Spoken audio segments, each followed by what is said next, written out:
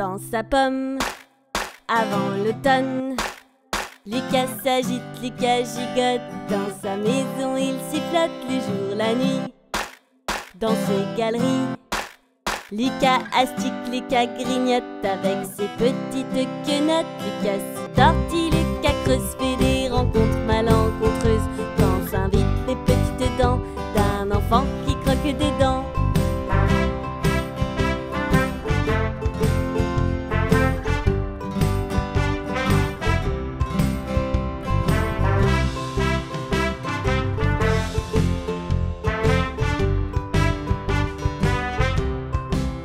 Quand vient l'hiver, ce ver solitaire enfile un gros pull vert et s'installe dans une pomme de terre. Mais cette patate est habitée comme l'était l'autre tomate où il vivait l'été dernier. Lucas se tortille, Lucas creuse, fait des rencontres malencontreuses quand il découvre dans son logement un autre verre déjà présent.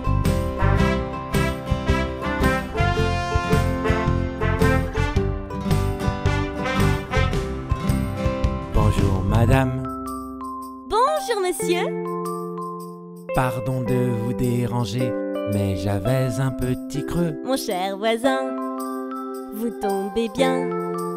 Nous pourrions creuser tous les deux, le printemps serait plus joyeux. Lucas la trouve fabuleuse, savoure cette rencontre amoureuse. Quand Lola l'appelle mon héros, il rougit comme un coquelicot.